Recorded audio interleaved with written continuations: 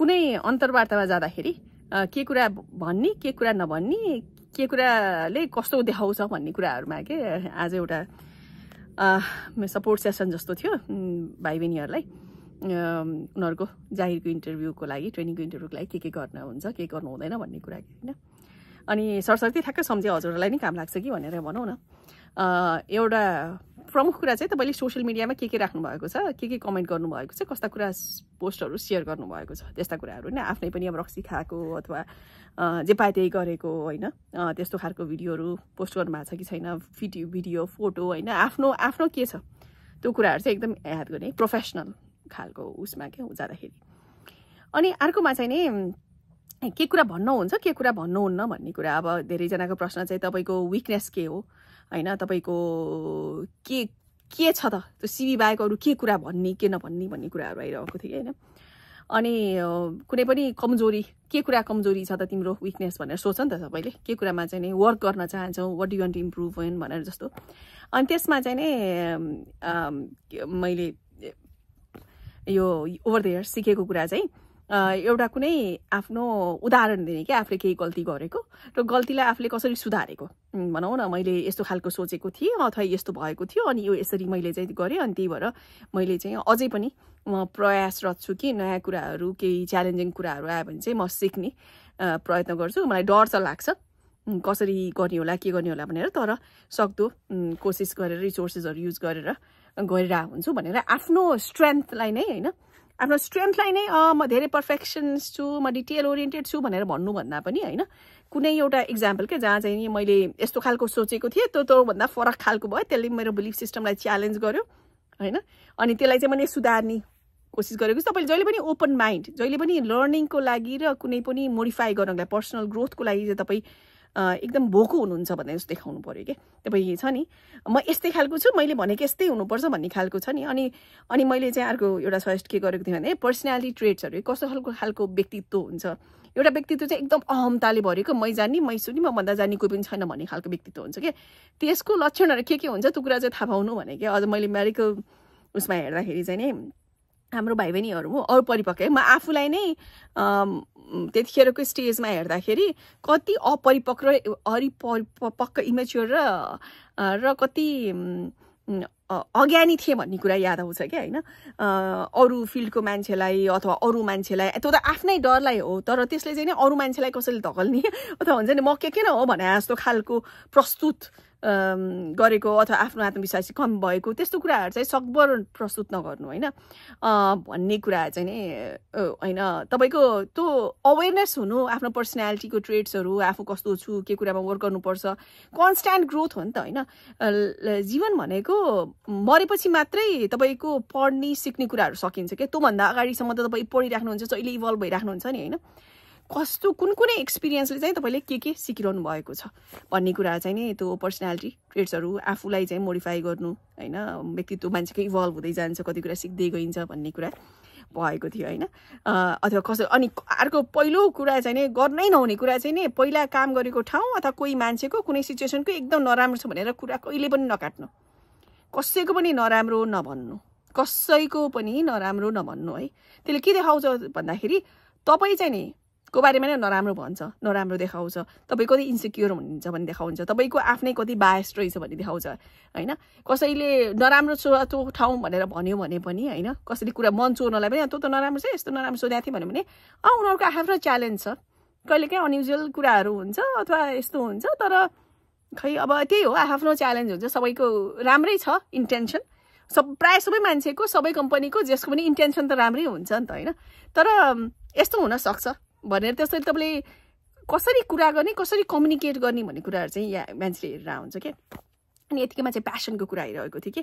तपाईँको सी बाहेक अर्को के सी त पठाइसकेको हुन्छ अरू के कुरा गर्ने त भन्ने कुराहरूमा चाहिँ हाम्रो चाहिँ साइकाट्रीको मा एप्लाई गर्ने मान्छे साथी भाइ बहिनीहरूको थियो क्या। अनि उनीहरूलाई चाहिँ मैले के सजेस्ट गरेर अरू भाइ बहिनीहरूलाई पनि तपाईँहरू यो अहिले त त्यो कस्तो भने इमोसनल इन्टेलिजेन्स भन्ने हुन्छ कि। तपाईँले अरू मान्छेलाई कस कसरी कनेक्ट गर्नुहुन्छ कसरी रिफ्लेक्ट गर्नुहुन्छ कसरी समस्यालाई सल्भ गर्नुहुन्छ भन्ने कुराहरू हेर्छन् क्या अनि त्यो कुरालाई चाहिँ हेर्दाखेरि इमोसनली तपाईँ कतिको विथ हुनुहुन्छ भन्ने कुरा के। अनि त्यही कुरामा चाहिँ नि मैले अब सक्नुहुन्छ भने गएर वृद्धाश्रमहरूमा गएर यो हाम्रो बुवा आमाहरूको कथाहरू सुन्नु बुझ्नु होइन त्यो कुराहरू त्यो नलेजहरू उहाँले गेन गरेको कहिले पनि हामीले त्यो कुराहरू किताबमा पढ्न पाइँदैन।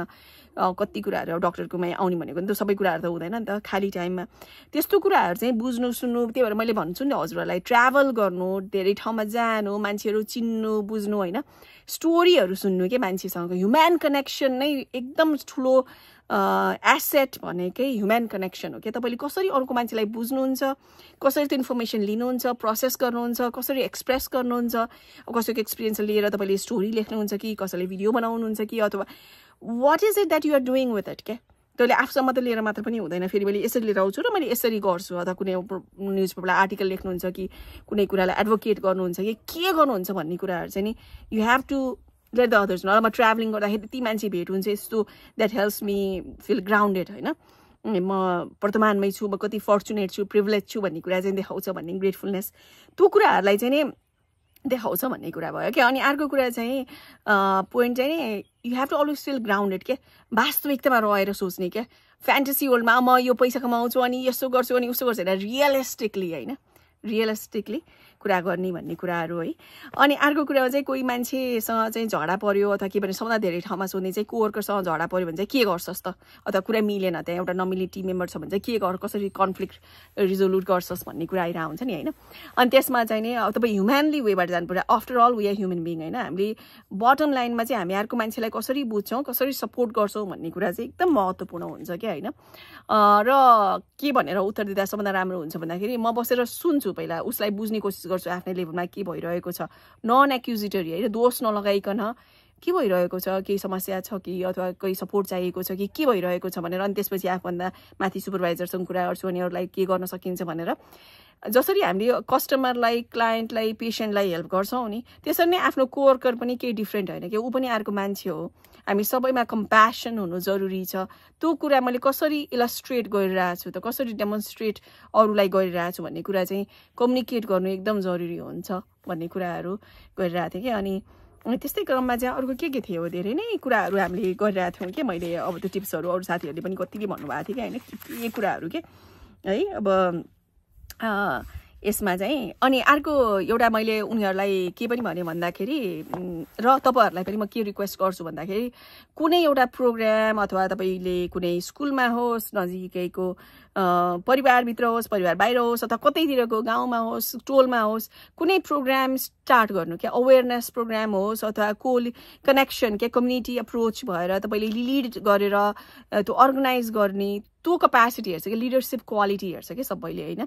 लिडरसिप क्वालिटीमा आ मलाई तपाईँ कोठाभित्र मात्र बसेर हुँदैन क्या यो टाइम एन्ड एजमा it is so important for you to break take a break from के भन्छ यो डिभाइसेसबाट र बाहिर जानु मान्छेसँग कनेक्ट हुनु र दुई तिनजना बच्चाहरूलाई आफूभन्दा डिफ्रेन्ट सानो उमेरको अनि त्यसो डिफ्रेन्ट स्टेज लाइफको भनौँ तपाईँ बाह्र कक्षामा हुनुहुन्छ भने चार पाँच वर्षको बच्चा चार पाँच कक्षाको बच्चाहरूलाई मेन्टर गर्ने के उनीहरूलाई पढाइदिने ट्युटर गर्ने अथवा बेलुका बेलुका सबैजना गाउँको टोलको केटाहरू मिलेर केही बल खेल्ने अथवा कम्युनिटी एक्टिभिटी गर्ने अर्गनाइज गर्ने सरसफाइ गर्नेदेखि लिएर भलिबल खेल्ने फुट हुने यस्तो यस्तो कुराहरूलाई तपाईँले केमा गरिरहनु भएको छ मेन्टर गर्नु क्या नआत्तिनु अरू मान्छे देख्ने बित्तिकै कसरी बोल्ने होला के बोल्ने होला यसले मलाई जज गर्छ भनेर नसोच्नु। कसैले कसैको मतलब गर्दैन कि? सबैले आफ्नै मात्र मतलब हुन्छ। जस्तो तपाईँलाई आफ्नो मात्र मतलब हुन्छ नि मान्छेले जज गर्छ भने जस्तै। अर्को मान्छेलाई पनि त्यही भइरहेको हुन्छ क्या त्यो कुराहरू चाहिँ मैले भनिरहेको थिएँ। मेन्टर गर्नुहोस्। दुईजना बच्चाहरूलाई के आफूभन्दा एउटालाई मात्र गऱ्यो भने धेरै इन्भल्भ भएर धेरै पोजिटिभ भएर भइन्छ कि। दुइटा भने डिफ्रेन्ट डिफ्रेन्ट एङ्गलबाट देखिन्छ कति कुराहरू। तपाईँले आफूलाई पनि इमोसनली ग्रो हुनको लागि हेल्प गर्छ भनेर त्यो भनेको थिएँ होइन। इन्टरभ्यूमा अरू गर्नु नहुने कुराहरू चाहिँ नि गर्नु पर्ने कुराहरूमा चाहिँ नि अनि लास्टमा के क्वेसन छ भनेर भनेर सोध्ने भन्नेमा चाहिँ नि होइन? मैले हाम्रो साइकाट्रीको कुरामा चाहिँ नि छुट्टै भनेको थिएँ भनौँ न अब कोही मान्छे मऱ्यो भने भनौँ न आफ्नो केयरमा हुँदा हुँदै कसरी म्यानेज गर्ने त्यो ह्यान्डल गर्ने कस्तो डिफिकल्ट पर्सनालिटीलाई कसरी गर्ने ह्यान्डल गर्ने होइन? अथवा पैसा नभएको मान्छेलाई कसरी गर्ने? हुन्छ नि त्यो कुराहरू भयो। अर्कोमा चाहिँ कस्तो भने उनीहरूकोबाट के के विकनेसलाई अथवा यो एजेन्सीको के विकनेस छ? कसरी सपोर्ट गर्छ? कसरी इम्प्रुभ गरिरहेछ? के के प्लान छ भनेर त्यो गर्ने है। अनि अर्को गर्नै नहुने कुरामा चाहिँ जसले इन्टरभ्यू लिने भनेर भनेको छ उनीहरूको चाहिँ नै सोसियल मिडियामा सर्च नगर्ने है।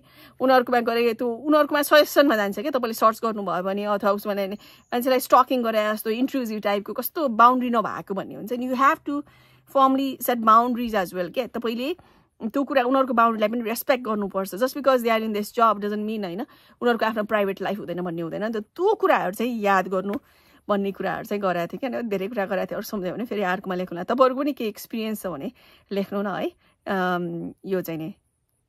इट्स भेरी इम्पोर्टेन्ट है हामीलाई कसरी पनि यो यो गर यो गर भनेर सिकाइएको हुँदैन। तर तपाईँहरूको कोही साथीहरूको इन्टरभ्यू जबमा जान लागिरहेका छन् तपाईँ आफैलाई पनि अथवा जबलाई मात्रै होइन एजुकेसनको लागि होस् तपाईँले के लिएर आउनुहुन्छ?